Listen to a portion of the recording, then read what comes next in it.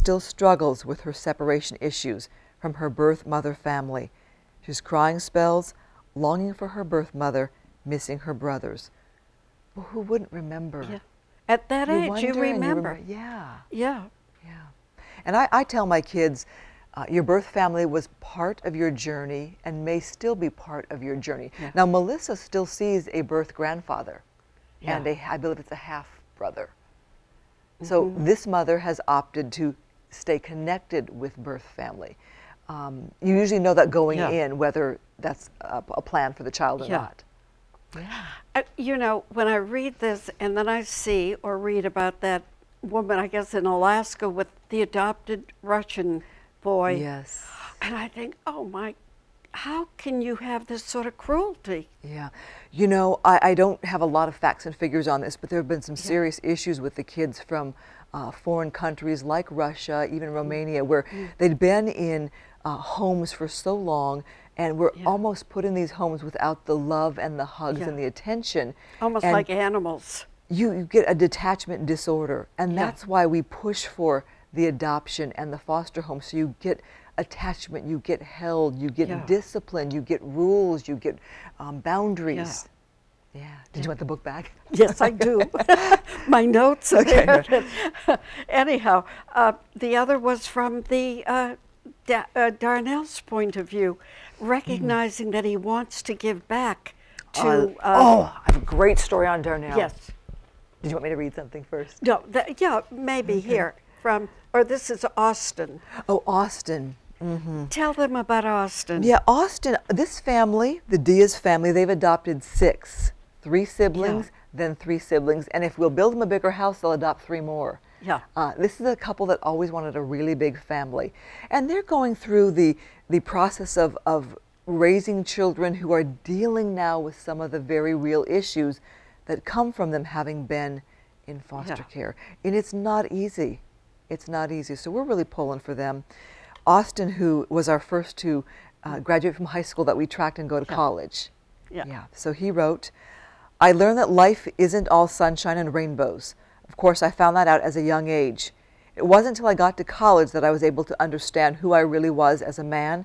So I guess you can say I found myself. Um, we're really pulling for Austin. Uh, he got into the band in high school, Mm-hmm. and he found a place where he could shine, where he was important, Yeah. where he mattered, and he had a skill. So that really was a turning point for him. And then to ah. get a scholarship to college. Now, life isn't perfect, and he's going through a lot to, to work through mm-hmm. some things. But uh, these kids have been through a whole lot. Yeah, that's, you know, how do you handle or do you have a sense of responsibility when things aren't working out? You're asking me personally? Yes. It's a very big concern of mine. It's not part of my job. My job is mm-hmm. to profile the kids in foster care Yeah. waiting to be adopted, to showcase them, and, and put that out there to the universe to see if a family might fit. But That's really what my job. Yes. Yeah. Yes. I'm very concerned about finding the best match possible for the kids, and so is Will Wong. Yeah. Will will turn down some families if it doesn't feel right for the child. It's what does the child need? Because what I need is going to be different from what Yeah. The child who's been Yeah. removed from birth family is I going to forget need. the child, but the fact that I thought, I wonder, the father had been in the Marines and it was all sort of, you know, s- stiff upper lip time, and I thought, this kid needs more than that. Well, I, I love that there are boundaries Mm-hmm. and some rules because kids are kids and they're learning how to live life. I Yeah. remember I had a 10 o'clock curfew when I was in high school. I'm glad my mother had rules for me and didn't let me run wild. I'm glad my mother taught me chores so that as a young adult I knew how Mm-hmm. To, you know, do the laundry. So uh, there's there's a lot more that comes to it, but I ask my families, and of course this is beyond my part of the Yeah. project here, the LA County who does the adoptions or any county that does the adoptions, to understand the journey you're getting into, and that we're Yeah. dealing with kids that have been through a whole lot of hurt, and some have physical challenges or alcohol. Um, you know, the mother drank when she was Yeah. pregnant or used drugs, and there can be some after effects on that. I, you know, I have a funny feeling though about when you say about an adoption uh, fair. Yeah. Uh, it sounds almost like pick up a, an animal. It's, you know, uh, yeah, I, I've never been to one, so I can't Yeah. comment on that specifically. It is, we don't want to do these extreme measures Yeah. like have a child go on TV and talk about this, but we're really pushing hard. And I know for my program, no child ever has to be on Wednesday's Child. Yeah. Do you want to be on it? Do you want to come forward with your story? Yeah. Do you want to see what's out there? Do you want to see if we can maybe find the right match? We may not, but we may. Do you want to give it that extra push? Does every program you do Mm-hmm. Have response from families that want a child? I don't know if every single one, but I do know not every child finds the right match, and we Yeah. don't want the wrong match. Yeah. Um, sometimes a child will meet a family and say, no, that's not for me, Yeah. and choose to remain in foster care and then emancipate when they're 18 or 21. Um, we have a good track record, though. We have 50 to 60 percent. And that's very high when you think of the kids we're dealing Yeah. with. We do hard to place cases, older, mm-hmm. large sibling groups, or severe special. Yeah. needs. I'm not talking about a newborn. The newborn, that's easy. Yeah. But a 15 year old or a 16 year old boy with severe autism, Yeah. that's tough. Yeah, you're taking on a big responsibility, Yeah. which is why Christine has at the end also questions to ask yourself about doing this. Yeah. Yeah, When my family adopted, there were no resources. And Yeah. today there are a lot of resources and classes Yeah. and programs and the I think the the in-depth of the studies and the, the talk Yeah. about what you want, why you're going into this how much old deeper. was your brother when they adopted him? Eight. Eight. yes. And he Mm-hmm. had come from what sort of a family? Terrible. He was born in prison. Mother was a heroin addict, 15 years old. Uh, so a rocky start coming out of the blocks. At five years old, grandmother says, I can't keep you. And social workers came and picked him up. Mm -hmm. And he did have problems. He sure did. Yeah. Uh, you know, my mother and I talk about this, and that's Yeah. why I'm such an advocate of finding a good fit. We maybe weren't the right fit for Yeah. this boy. Uh, we were a, kind of a, a bookworm, intellectual, Yeah, nerdy kind of family. Yeah.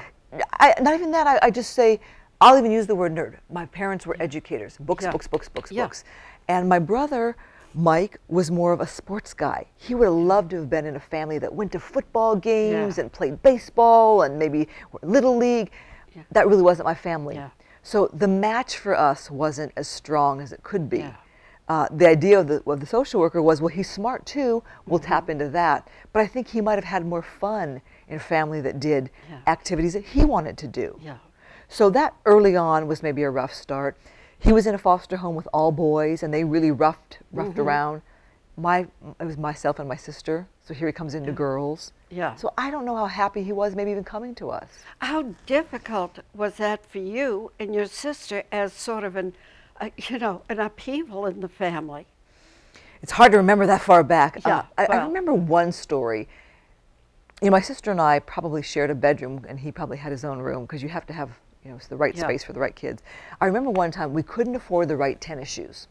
You know, kids are in their tennis shoes, right? And I remember it's Mike's fault we can't have expensive tennis shoes. Yeah. Yeah. Probably wasn't, Yeah. but, But, the fact that we had to share in that way. yeah.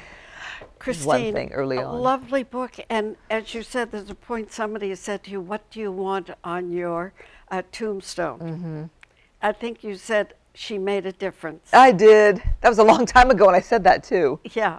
Well, may I say, this book can make a difference. You don't need to wait that long. Mm, I hope and so. I think truly you've given people something to think about and sort of say, who am I and what do I want from life? Yeah, thank you.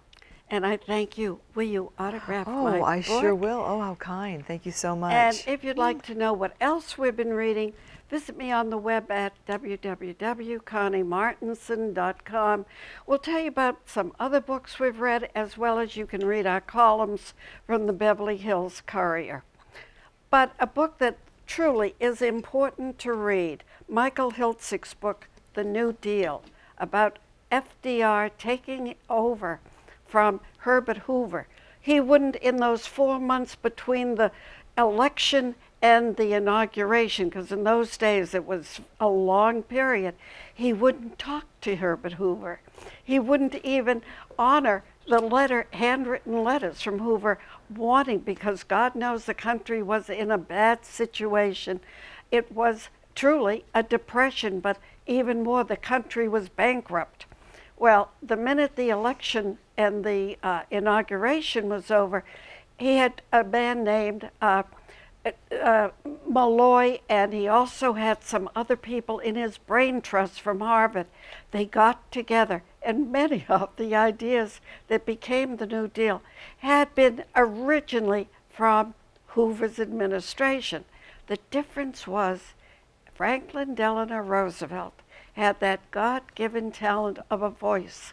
And on radio, he came over and brought optimism to the country so that when they closed the banks, they didn't say, oh, the banks are desperate.